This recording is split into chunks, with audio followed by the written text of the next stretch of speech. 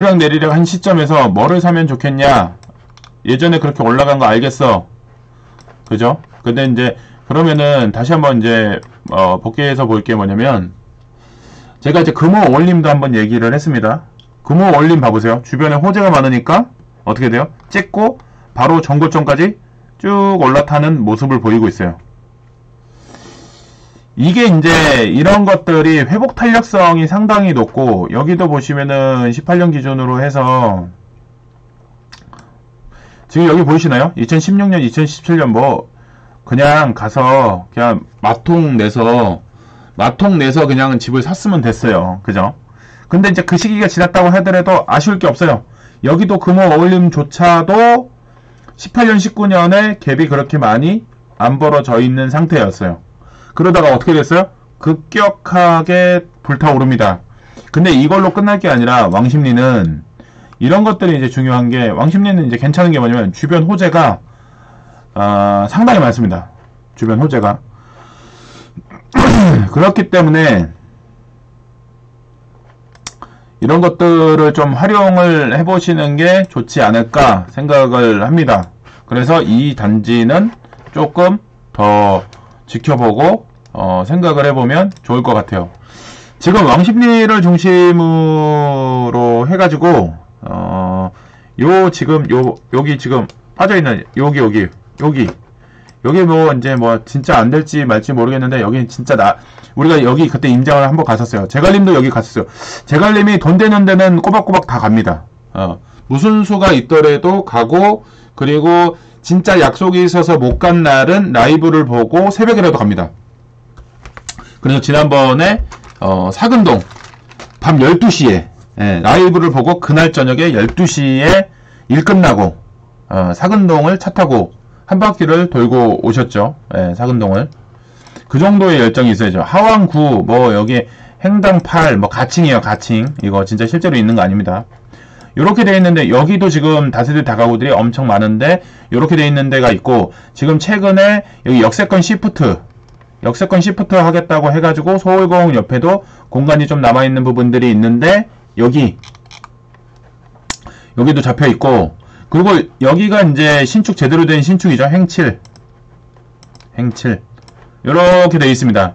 요 한강변을 중심으로 해서 이쪽으로 어, 신축 아파트들도 들어오기도 하고 하는 그 길목에서 여기 금호 올림. 금호 올림은 마장동 금호 올림이라고 써 있는데 이게 어떻게 마장동이에요? 왕십리 금호 올림으로 바꿔야지. 그러면 이제 왕십리에서 뭐라 그럴 수 있으니까는 이름을 바꿀 수 있어요. 어떻게? 왕십리 역이라고 쓰시면 돼요. 왕십리 역이라고. 왕십리 역이라고 쓰고 앞에다 뭐 하나 더 붙여요? GTX GTX 왕십리역 금호 올림. 제가 이름을 다시 지어줬습니다.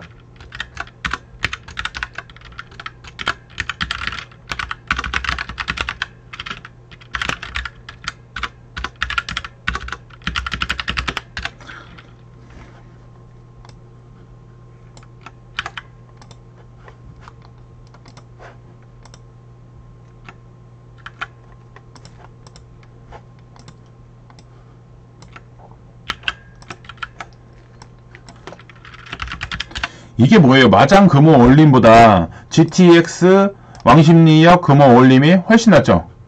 그죠? 이러면 집값이 올라가겠죠?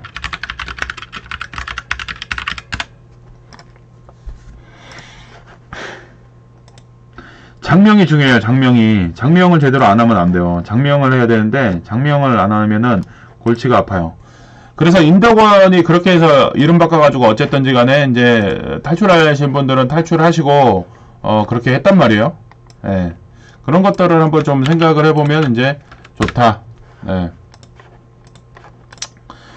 그래서 이제 요거를 이제 요 지역이 이제 경기가 침체가 된다고 했을 때 다른 지역도 비교를 해보지만 몇 군데들은 그렇게 체킹을 해놓고 바로 보셔야 돼요. 경기가 안 좋아진다 그러면. 그런데 이제 마장도 금호올림이 자리가 너무 좋잖아요. 학교도 뭐 가깝기도 하고 여기 술자리도 가깝기도 하고 우리가 이제 임장 갔을 때 확인을 했습니다. 그러면 꽝 대신 닭 이거 안 되면 저거라도 해야죠. 여기서 놓치면 안 되는 아파트 두산 아파트입니다. 두산 아파트 같은 경우에 32평 이렇게 되어 있는데 여기도 지금 보이시나요? 24년 2월에 최고가를 찍었어요. 이 두산 아파트도 마찬가지예요. 이 두산 아파트도 이 두산 아파트도 분명히 그냥 두산으로 할 게 아니라 왕십리역 두산 아파트로 이름을 바꿔야 돼요. 왕십리역 두산 아파트. 그러면 확실히 돈이 되겠죠. 왕십리역 두산 아파트. 그런데 내가 사기 전까지 왕십리를 붙이면 안 돼요. 그래서 얘 앞에다가 어떻게 붙인다고? 왕십리역. 왕십리역. 왕십리역 두산 아파트. 레미안 위부 뭐 이런 거 다 필요 없어요. 왕십리, 왕십리역 두산. 이렇게 붙이면은 확실히 효과를 볼 지역 중에 하나죠. 지금 이게 지금 여기 봐보시면은 꺾이지 않는 마음, 예, 꺾이지 않는 마음. 신고가 찍었죠? 신고가. 그러니까 가는 데는 가요. 가는 데는. 신고가 찍는 애들은 갑니다. 가는 데는. 근데 이런 데들이 지금 비싸서 못 사겠다라고만 할 게 아니라 경기가 안 좋아서 꺾이면 최우선순위로 어, 이런 것들도 한번 체크를 해보면 좋겠다. 그리고 이제 여기 이제 그 푸르지오 파크 세븐 여기 이제 들어오는데 파크 세븐이 들어오면은 효과를 이제 보는 데가 여기 이렇게 또 왕십리랑 또 빼면은 또 서운하니까 왕십리역에서 이렇게 가까이 붙어 있단 말이에요.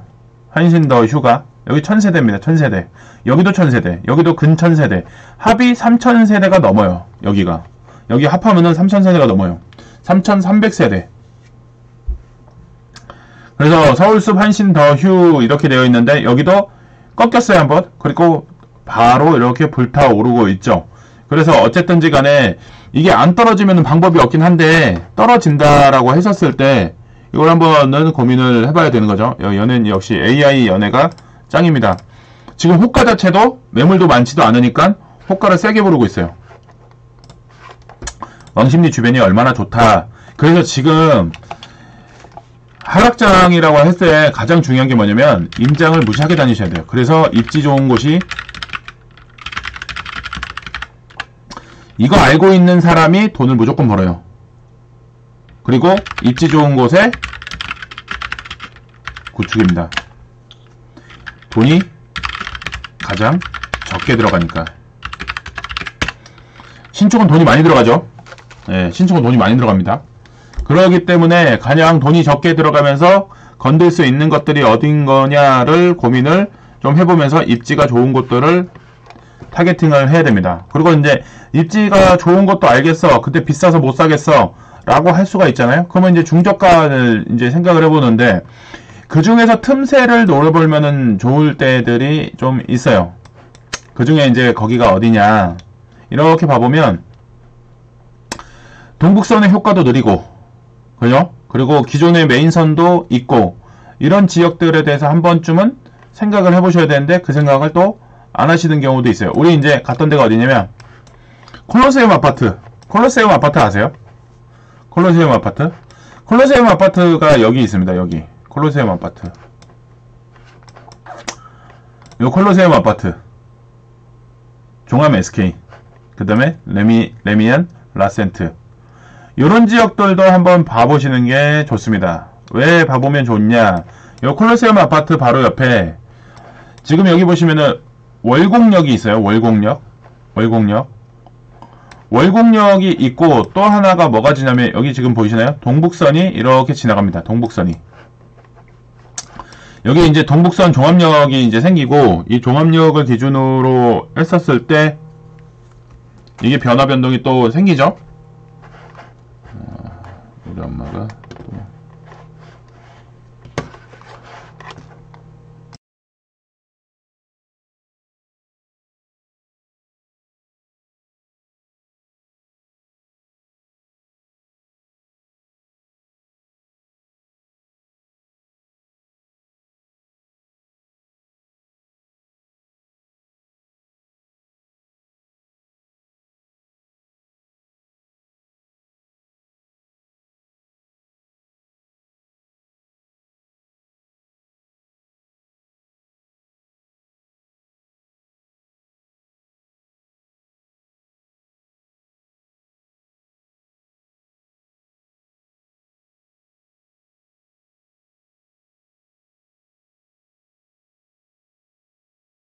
그 아빠는 아빠대로 해서 저기를 하는 거고 나는 나대로 해서 그렇게 하면 뭐 뭐 백날 내놓으면 뭐 할 거야. 그게 이제 사람들이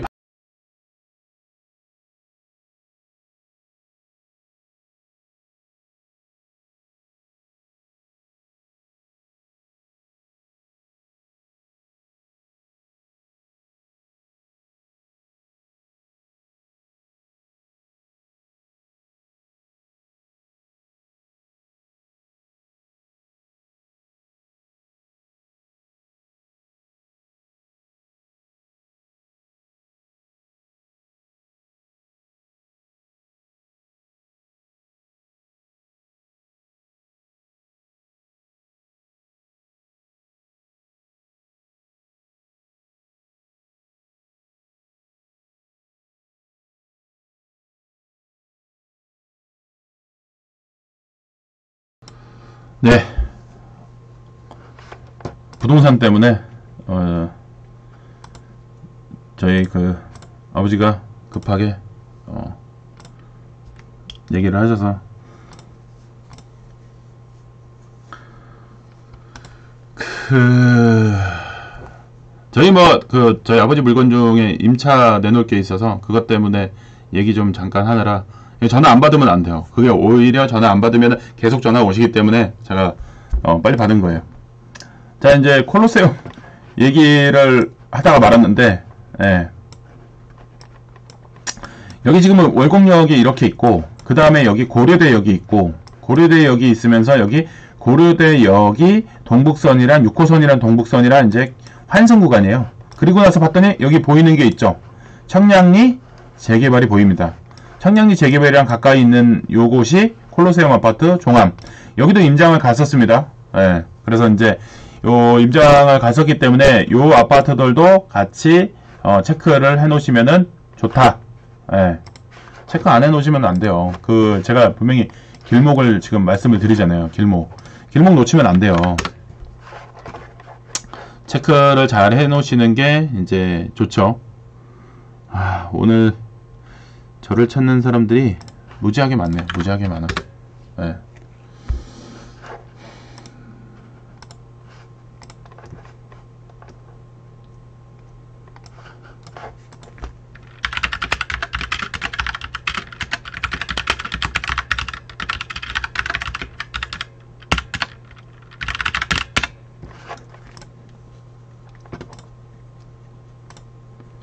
콜로세움 공항 가려고 갈 때 꼭 지나가던 아파트인데 한 번도 안 가봤어요. 예.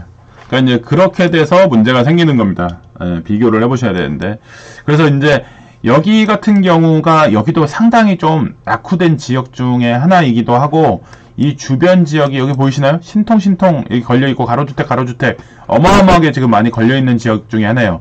여기가 개발을 안 했는데 개발을 좀 어, 해야 될 때가 된 거죠. 근데 제가 왜 여기가 좋다라고 하냐면 동북선이랑 연결된 것도 있는데 이 월곡역 뒤로 가서도 아파트가 있어요. 여기도 또 여기 이 잠깐 얘기하면 두산 위부도 나쁘지 않아요. 근데 이렇게 6호선 타고 갔더니 어디 가나요? 장이 유타운이 나오, 나옵니다. 근데 장이 유타운이 더 좋냐?